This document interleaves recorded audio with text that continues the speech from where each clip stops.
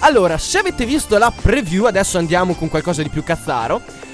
Della puntata, appunto, sapete di cosa andremo a parlarvi adesso, vero Omar? Sì. Infatti, dopo domani, infatti, come ben tutti sapete, ormai i Maya, secondo il loro calendario, simile a quello che usiamo noi della Pirelli, hanno predetto la fine del mondo. Mi è piaciuta quella pirella. E, e comunque i vari pirla, no? I, i geni che hanno paura che ciò avvenga, hanno deciso di affollare, come ci ha ricordato il nostro, un gran servizio di studio aperto, due paesini dimenticati da Dio. E appunto, come annunciava Omar, e via che Studio Aperto ci dedica ore di servizio a proposito. Ma eh. secondo te l'orsetto Knut, come Il collegamento dallo zoo di Berlino.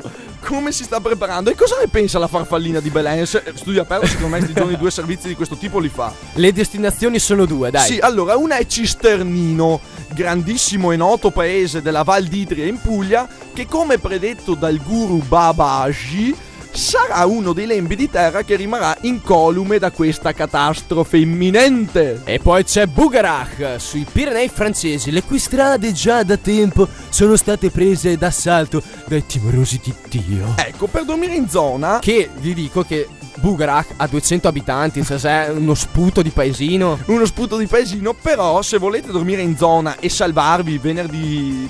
venerdì Giovedì ven- giovedì 20, sera insomma, a sì, esatto. cavallo, potete pernotare in una camera che guarda direttamente sul magico picco di Bugarach, dove c'è l'hotel La Presbitière. Ve la caverete con 60 euro a notte a...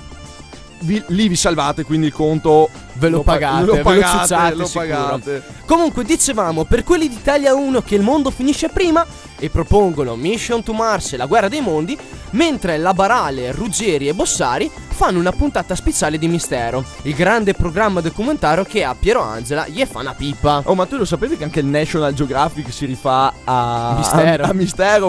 Lo Lo, usa usano come come fonte, fonte. come fonte primaria. Spettacolari. Allora, io direi, vi svelerei qualche chicca di paure strane che abbiamo Sì, negli due, amici due, vicine vicine. C'è la paura dei bambini di Halloween. Ah, cioè, c'è una, una nostra amica, un'amica di Matteo. Per, Che per se vede i precisare. bambini di Halloween che gli fanno dolcetto scherzetto, questa schizza, Questa gli si schizza. mette a piangere e scappa. Ecco, ma ragazzi, le due paure che mi hanno fatto più ridere sono due paure alimentari, ovvero la turifobia. Paura del la formaggio paura del formaggio grattugiato. e non so cosa ti possa fare. Oppure l'arachibatirofobia. Rofobia, la paura del burro d'arachidi al sulle labbra. Ma come si fa? Ma ora allora direi- Adesso direi che è il momento di Michele, The King of Limena, la stalla del bue.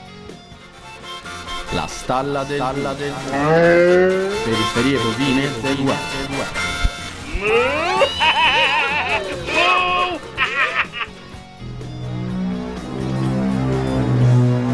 Era un pomeriggio buio e tempestoso di dicembre e il piccolo regista si mise in viaggio dal suo villaggio verso il castello della piccola radio. Salutò il nonno, Peter, Heidi, le caprette, montò a cavallo del suo fidato Toyota e partì. Posteggiò come al solito alla taverna Maldura. Si mise a camminare ma sentiva uno strano fiato sul collo.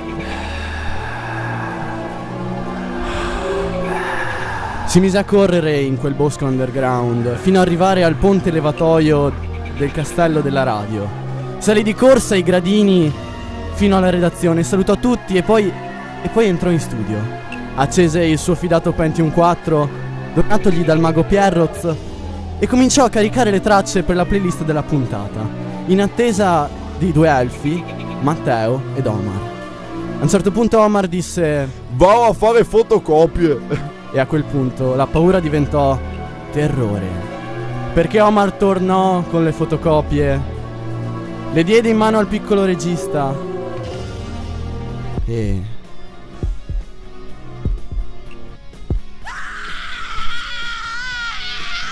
E il piccolo regista si tagliò con la carta come al solito e questa era la sua più grande paura. ecco, una storia autobiografica di Michele che tutta di sua fantasia. Complimenti, grande Michele. Eh beh, Grazie, grazie. Stavolta, stavolta ti sei superato. Ma comunque dai, torniamo a noi dopo la- l'appuntamento bisettimanale con la stalla Que- del bue. questa è stata veramente spettacolare. No, non, cioè, E visto che è da un po' di tempo che non vi consigliamo un film, sarebbe ora di consigliarvene uno. vi consigliamo Cube, il cubo. È un film che è costato solo 350 mila dollari, pensate. Di impronta kafkiana. di stampo kafkiano e parla di eh, una situazione abbastanza strana, donne e uomini intrappolati in un cubo formato da stanze altre- Cubiche. a, a loro volta cubiche e comunicanti. Un- una Film sorta di intrippante. thriller, un film intrippante. Non guardatelo da fumati perché È il disastro. si, si dorme poco allora dopo. io direi di suggerire P come paura, che non è eh, Melissa P o V per vendetta, di Rosella De Leonibus, interessante viaggio psicologico nei meandri della paura e come questa ci accompagna come un'ombra che oscura gli spazi quotidiani. E dopo questi due consigli cinema e edi- cinematografici editoriali, ultimo talk. Mamma mia, oh, questa puntata è stata veramente eccezionale. Vai, guarda, sai cosa ti dico? Che Siamo se- riusciti a che dire se- tutto. Cioè, a parte, aspetta, no, no, no. Mi viene in mente una delle ultime paure che non abbiamo detto. Allora, tu hai date.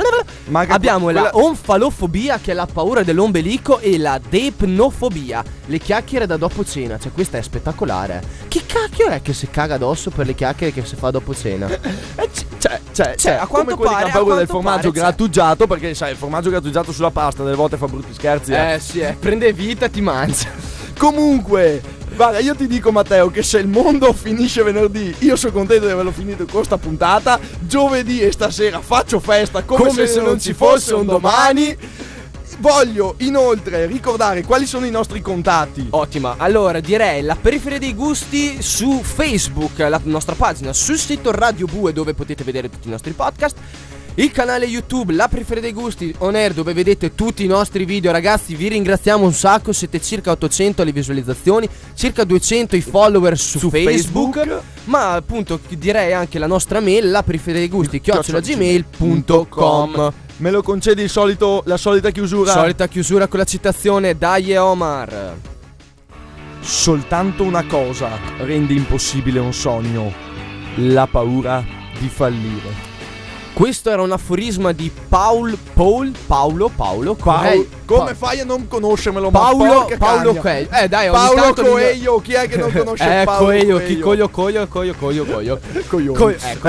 Eh, Ma comunque- oh, L'ignorante oggi lo faccio io. Comunque, volevo darvi eh, un'anticipazione. No, non un'anticipazione, no. Però un consiglio da fare questa sera, ragazzi. Questa sera, Gallery Riviera Tito Livio, Galleries Café, Back to Battle suoneranno per voi dalle ore 10. Dalle ore 22 live Back to Battle Noi andiamo, vi aspettiamo numerosi Vi vogliamo Non tutti lì. mancate. Ascoltatevi prima la replica della periferia alle 8 e mezza E poi venite ad ascoltarci Quindi- Comunque signore e signori Io direi Auguri che di buon È il Natale momento di fare buone auguri e buone feste. Auguri Michele Vuoi fargli auguri in particolare a qualcuno a casa? Amici, Sì, famiglia, eh, volevo fidanzata. salutare il mago Pierroz che mi ha donato il Pentium 4, Heidi, le caprette, Peter E il nonno. e il nonno. E niente, questo. Questi li hai visti ieri sera mi sembra di aver visto Sì, sì, sì. Comunque, allora, ricordatevi che il nostro motto è De Gustibus Disputandum est, stay alternative, stay on air con la periferia dei gusti solo. su radiobue.it Ciao ragazzi, buone feste e ci vediamo se tutto va bene, se venerdì non succede niente, anzi non succederà niente, Dai, sarà un la- venerdì la- di merda La come prima al o seconda solito. settimana di gennaio, non lo so, decideremo. Penso, penso dai, potremmo esserci Stay già with anche la us, prima. siete pias. Ciao ragazzi. Ciao, ciao, grazie a tutti, ciao! La periferia dei gusti. De gustibus disputandum est. Autocritica. Stranezza. Sana ironia.